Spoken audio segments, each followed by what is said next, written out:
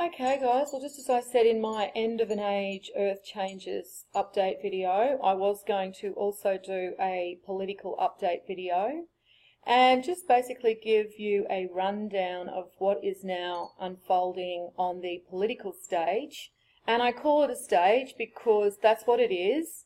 And these men these people who call themselves our politicians are nothing but Jesuit puppets, and they're all playing their role in the Jesuit script. Now, I uploaded this video on the 12th of November 2016 after the Jesuit instated their puppet Trump to play out their Trump card. And I basically went into detail to show how Trump is just another actor on the political stage and he is going to be no different than Obama. In fact, he's going to be a lot worse than Obama and this is how they will play out their script. They will play out their script so that the masses thought that they were going to get somebody better than Obama, who wasn't a politician, but in fact they are going to get someone much worse than Obama. Even though Obama and Trump are on the same team because Republicans and Democrats are just two sides of the same coin. It does not matter what team colour your new master wears. They are still playing for the same team. At the end of the day, they are all just puppets playing their part in a script and they all answer to the Jesuit. And so what I'm going to do with this video is just basically reiterate who our enemy really is. I'm not going to detail how Trump is now showing who he really is because anybody who is paying attention can see that his mask is now falling and that we are going to be taken into World War III and a very dark time by their puppet, Donald Trump. So what I'm going to basically do in this video is just show you how the Jesuit work and how they have infiltrated all of our governments and this includes the Australian government because we have Jesuits on all sides of government here too. And this has been happening for centuries. This isn't just something that's happened over decades. They have been positioning themselves and infiltrating our governments for centuries. And now they have basically been able to take control of all of the world governments and now they are just positioning themselves to bring us to war. Now people often wonder why would they do this? Why would they destroy the planet and why would they take us to war and destroy each other? And that is because they will destroy what they can't inherit.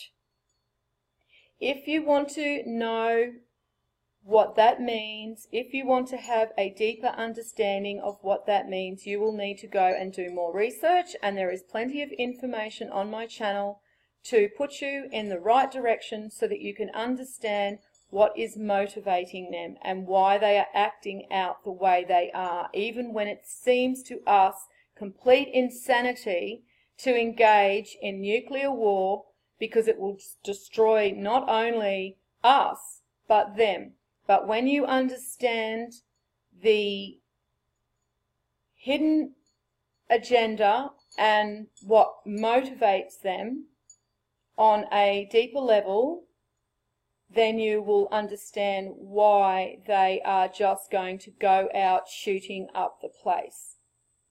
Because they've been basically just partying hard at our expense. And now that they have basically run out of time, they are just going to go out shooting up the place and they will destroy what they can't inherit. Anything that is of a divine nature, anything that is good, anything that is pure, they will destroy it. They will corrupt it. That is what motivates them. Our demise our annihilation is what motivates them. It's why they get out of bed in the morning. And everything else that appears to be for our benefit is nothing but an act. It's all a stage show. And when you start peeling back the layers and looking beneath the surface, you can see that they are nothing but puppets playing their part in a script, and they have played their parts for a very long time. Donald Trump has been groomed for this position since he was a teenager because he actually attended the Fordham University. And the Fordham University is a Jesuit Catholic university. And so we can see that Donald Trump has ties to the Jesuits because he was educated at a Roman Catholic Jesuit college or Jesuit university. Now, it's interesting to also look to the warnings that were left to us about the Jesuit because it confirms to us how the Jesuit actually work to infiltrate our governments. And I found this comment here by J.E.C. Shepherd, a Canadian historian, very interesting because he goes on to say that between 1555 and 1931, the Society of the Jesus, the Jesuit order, was expelled from at least 83 countries, cities, states and cities for engaging in political intrigue and subversion, plots against the welfare of the state, according to the records of a Jesuit priest of repute, Thomas J. Campbell. Practically every instance of expulsion was for political intrigue, political infiltration, political subversion, and inciting to political insurrection. And then we see something very interesting from Napoleon Bonaparte, who warned us that the Jesuits are a military organization. You know, the Jesuits aren't even supposed to be popes, yet we have our very first Jesuit pope, and people still aren't identifying who the enemy really are. And he goes on to say they're not a religious order, their chief is a general of an army, not the mere father abbot of a monastery, and the aim of this organisation is power. Power in its most despotic exercise, absolute power, universal power, power to control the world by the volition of a single man. Jesuitism is the most absolute of despotisms and at the same time the greatest and most enormous of abuses. So as we can see, there were plenty of warnings that were left to us so that we could actually identify who our enemy were and the way that they worked to infiltrate our governments. Now, we can also see that Trump's cabinet is also full of Catholics. We have Kellyanne Conway, we have Mike Pence, who's actually a evangelical Catholic. We've got Steve Bannon, who's a Catholic. We've got Sean Spicer, who's a Catholic. We've got Andrew Bremberg, also a Catholic. Then if you have a look at the military, General James Mattis, or Mad Dog Mattis, is also a Catholic. And then if we actually have a look at the Supreme Court, we can see Roman Catholic, Roman Catholic, Roman Catholic, Roman Catholic, Roman Catholic, and Neil Gorsuch is also a Roman Catholic and he is Jesuit educated. And so people have to actually start to identify that it's not the Jews that we have to worry about because we always keep hearing about how everything's the Jews. It's actually the Jesuits.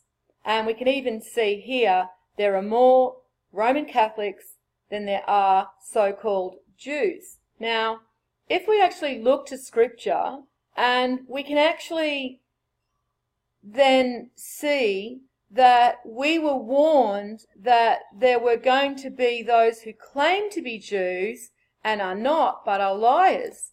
Now, we can see this not only in Revelation 3 9, but also in Revelation 2 9, where it also goes on to say, I know your afflictions and your poverty, yet you are rich. I know about the slander of those who say they are Jews and are not, but are a synagogue of Satan.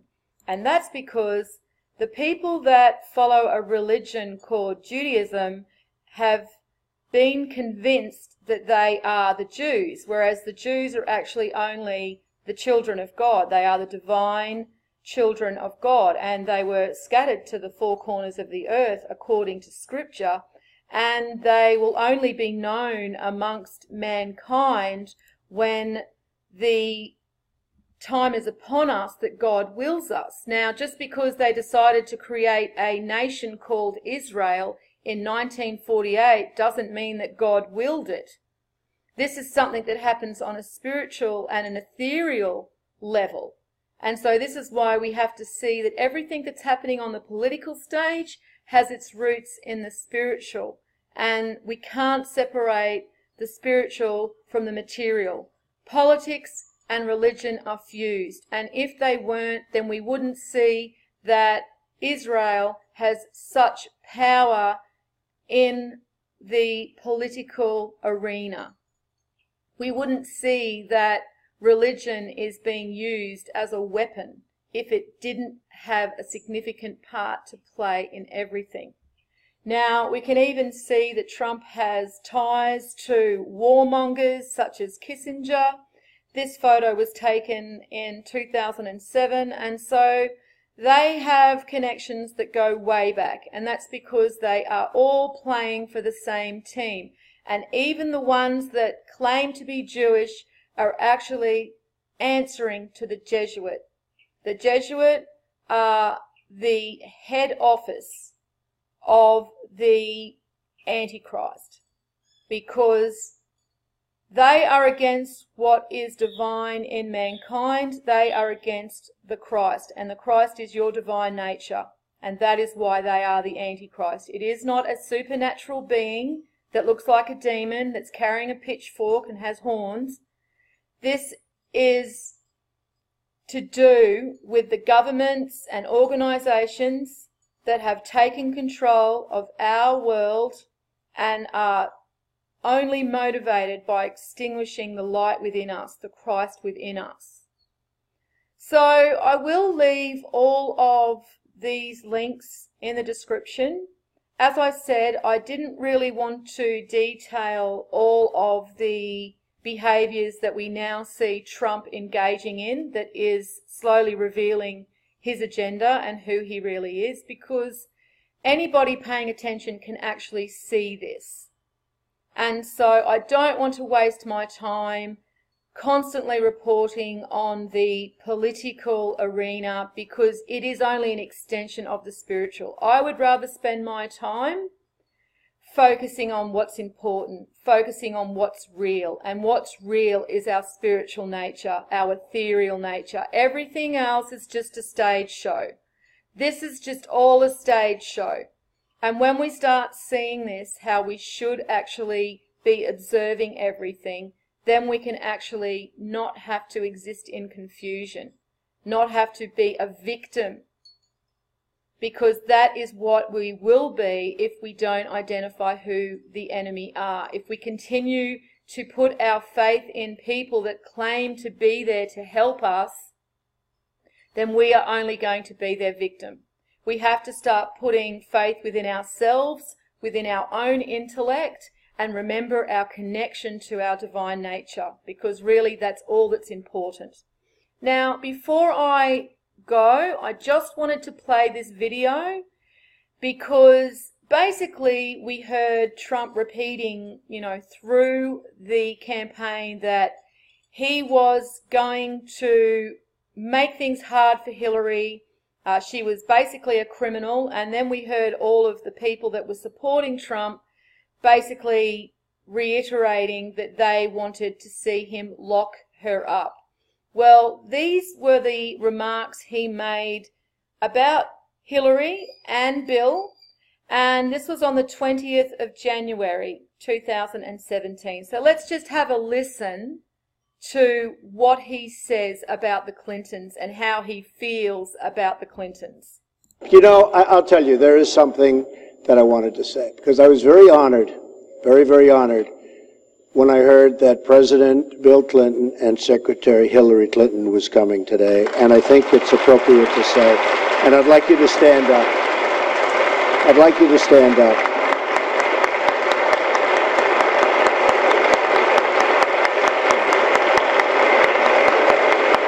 Well, giving her a standing ovation doesn't really look like he's going to lock her up. So I will also put a link to this video underneath in the description as well. But once again, it really comes down to people identifying the enemy and who the enemy really is. And it is not each other. We are squabbling amongst each other. We see each other as the enemy when the enemy is actually the one working from the shadows and controlling everything. So I will put this link underneath and you can read all of the other warnings that were left to us about the Jesuits and hopefully people begin to realize what is happening and how everything is being controlled from the shadows by the most evil of men. And they have been playing out their script for centuries. And it has always been bloodshed. You know, it has always involved lots of bloodshed. Just ask the million Gnostic Cathars that were slaughtered, tortured, and burned and by the Catholic Church. Like Just ask them about how violent and bloodthirsty these evil men can be, and they are still in power, they are still in control of our world. Well, I will leave it here, and as I said, I will post everything underneath, and you can look at that yourself in more detail. And as always, peace out.